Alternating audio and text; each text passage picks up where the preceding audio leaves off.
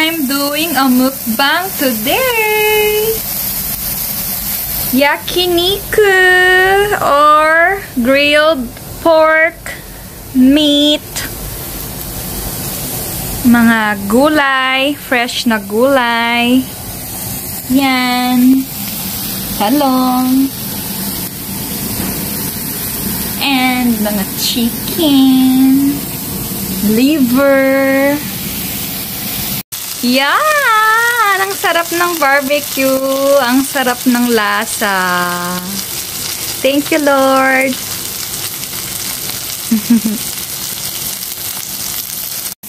Hi guys! Good morning, good afternoon, good evening. It's me, Jenny, and welcome back to my YouTube channel. Hi and hello to everyone! Sa lahat po ng tao na nanonood ng video nito ngayon na hindi pa nakasubscribe sa aking YouTube channel or Jenny's channel, mag-subscribe na po kayo. Maraming salamat po! So today guys, my vlog is about doing or mm, okay tama, doing a mukbang. So nag-prepared ako dito ng mga meat, tas i-grilled ko 'yon. So I have a sauce here, parang sauce sa barbecue. Then meron akong dila ng baboy. Paborito ko to at isaw-saw mo sa soka.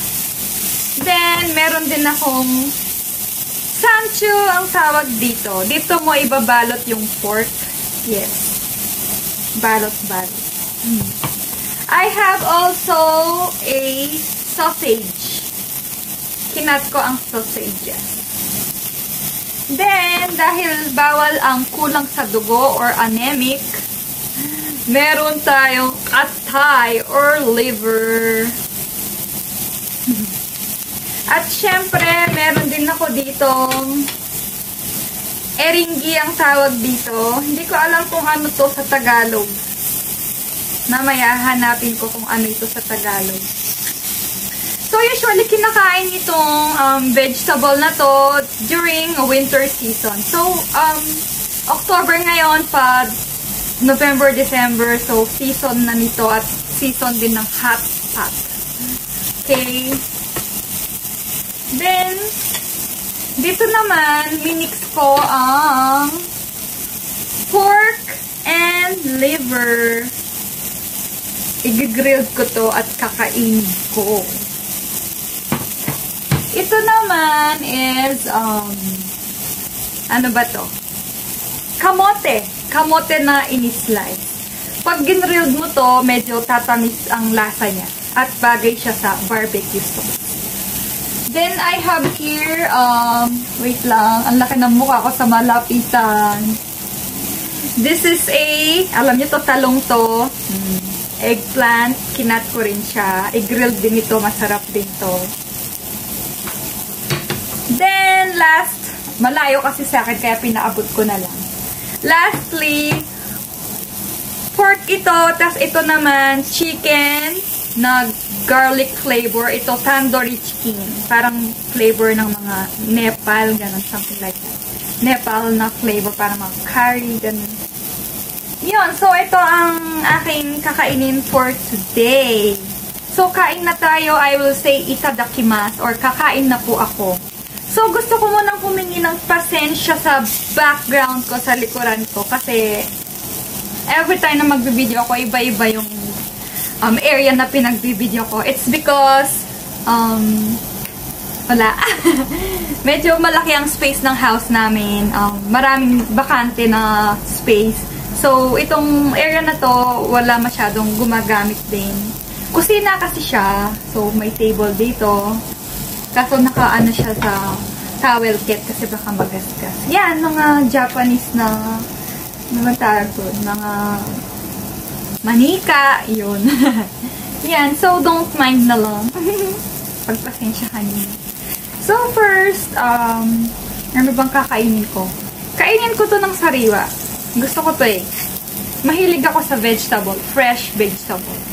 As I said before, nakakabata ng skin, nakakaganda ng skin. At ang gulay sa Japan is fresh. masarap dahil yun sa climate. Yun. Kain na, ka-turn na siya ng damit ko.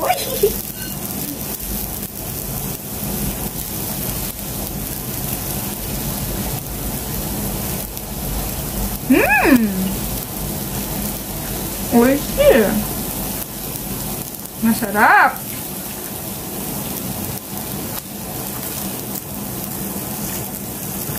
Kasing sarap siya ng ano. Wala. Sasabihin ko sana unang halik na naman. Masarap ba ang unang halik? I don't think so. Depende siguro kung yung nag-kiss sa'yo is lasa ng mouth niya or kumain siya ng matamis na candy like strawberry, apple, ganun, peach. Sweet, matamis yung lasa ng halik. So, I have here ang um, tang, dila ng baboy. Gusto ko to kasi pag kinakain mo siya parang, mm, ano ba? Habang minunguya mo lalong lumalabas yung lasa niya. So,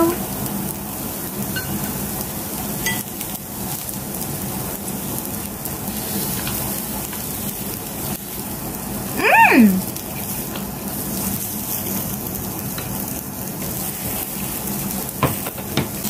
Next naman itong eringi. Natutuwa. Pag naluto na siya, nag-grilled na siya, ganito na ang kanyang magiging itsura. Parang lumiit siya?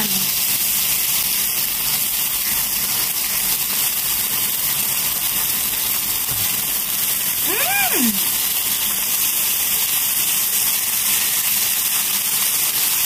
So, I'll go for sausage. Isaw-saw natin sa sauce. Barbecue sauce. Alam niyo ba, nakakataba daw ang barbecue sauce. Pero hindi naman kasi masarap ang barbecue without dipping it or isaw-saw sa barbecue sauce.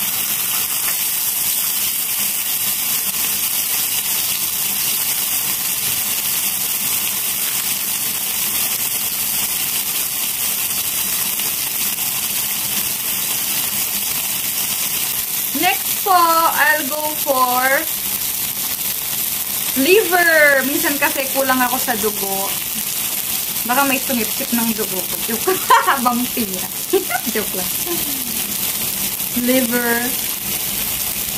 Pag kulang ka sa dugo, kumain ka nito. Maganda rin to sa katawan.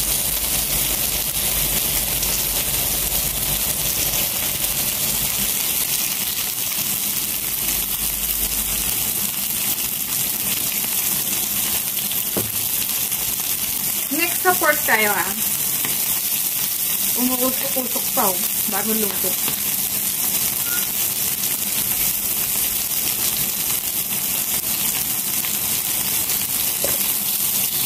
Mmm!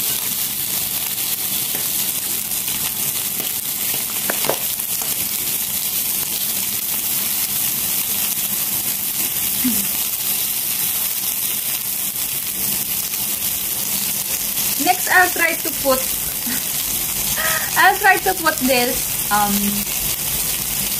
pork dito sa loob niya. Yun na.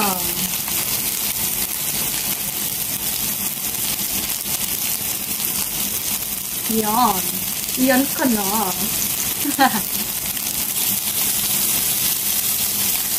hmm. Kain na ulit ako ng liver or atay. Favorite ko to.